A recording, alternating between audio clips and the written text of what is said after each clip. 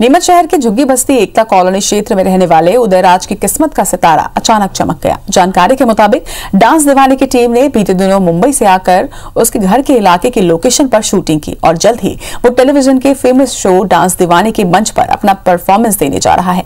बता दें कि सोशल मीडिया पर इसके डांस काफ़ी फ़ेमस हुए थे और इसके बाद उदयराज की वीडियो को कई सेलिब्रिटीज ने शेयर और लाइक किया था। इसके साथ ही टैग भी किया था, जिसके बाद डांस दीवाने की टीम ने उसे नीमच से चयनित किया है। टीम के साथ। उदयराज अपनी माँ को लेकर मुंबई के लिए रवाना भी हो चुका है। बता दें कि नीमच की बड़ी ही गरीब झुग्गी झोपड़ी बस्ती का रहने वाला उदयराज डांस का काफ़ी शौकीन है और जुनून से डांस करता है।